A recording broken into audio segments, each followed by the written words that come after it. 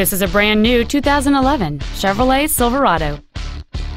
It features an eight-cylinder engine and a four-speed automatic transmission. Its top features include an unattended headlight warning chime and cruise control. Contact us today and schedule your opportunity to see this vehicle in person. Hubler Chevrolet is located at 8220 South US 31 in Indianapolis. Our goal is to exceed all of your expectations to ensure that you'll return for future visits.